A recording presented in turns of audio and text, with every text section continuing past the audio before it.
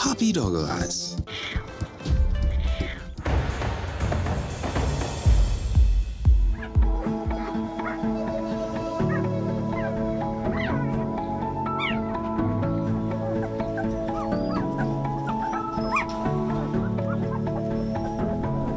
So we'll just put her purple collar on her. Uh, if you stay still for two seconds, little girl. The girl with the purple collar, she's just that settled dog that sits back, observes everything. And from what I know of Frank, he's very much the, the same sort of personality, and I thought they would just click. Lovely. Since arriving here in early September, it's been uh, very rewarding having Annie. I carted her everywhere I went.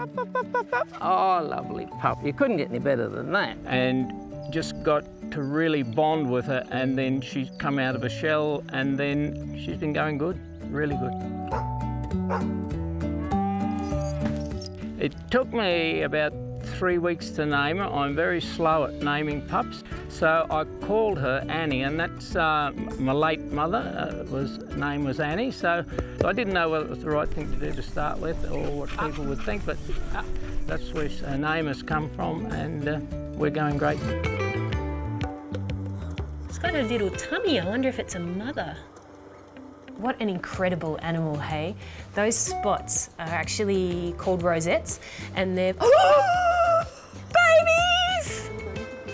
Oh my god, that's bringing tears to my eyes. It's so beautiful. They're really young. Oh, the little hissy meow. See how close together the spots are when they're little? That's also to help with camouflage, darker when they're little and they sort of spread out as they get older. The spots are actually in a pattern that is unique to that individual, like a fingerprint. That was so cute, oh my God. They're fascinating to watch when they eat the bamboo. So they actually strip the leaves and roll it into like a cigar shape and then just bite down on it. So they don't chew, they just crunch down on it with their teeth and swallow it whole. Then they'll strip the culm down with their teeth because they've got really strong, powerful teeth and jaws, strip off pieces of the culm and they'll eat that as well. So they pretty much eat the whole plant. Most days they will eat between 40 and 50 kilos of bamboo. In winter when they uh, are putting on weight and they're coming into season, they eat a lot more, so they'll go up to 60, 70 kilos per animal per day. So it makes up a large part of their diet. Now I'll get you to hold him while I take that chick out. Oh my goodness.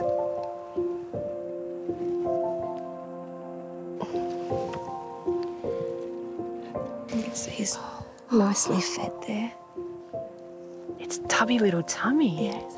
Oh my goodness, look at the size of the bag. You've got to put it in. Oh, nice. Oh my God. Can you hear that? It's 84 grams.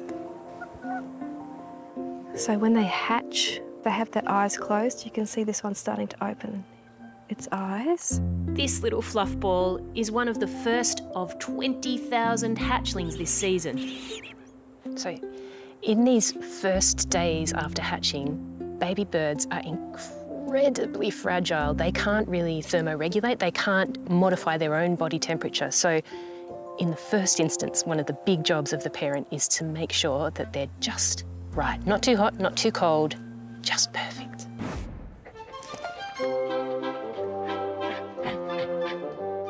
Domestication has given dogs more than the ability to pick up on how we feel. It has also given them a way to pull on our heartstrings. Puppy dog eyes. Dogs make puppy dog eyes, or by raising their eyebrows to make their eyes look awfully big, um, in order to become more attractive to us. Dogs have a special muscle for making puppy dog eyes. The levator anguli oculi medialis. This muscle is missing in wolves.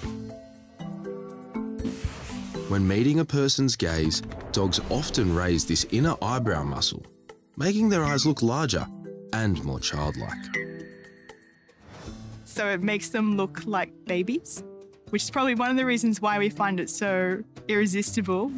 We tend to respond really strongly to that, but when my dogs give me the puppy dog eyes, I'm, I'm pretty defenseless.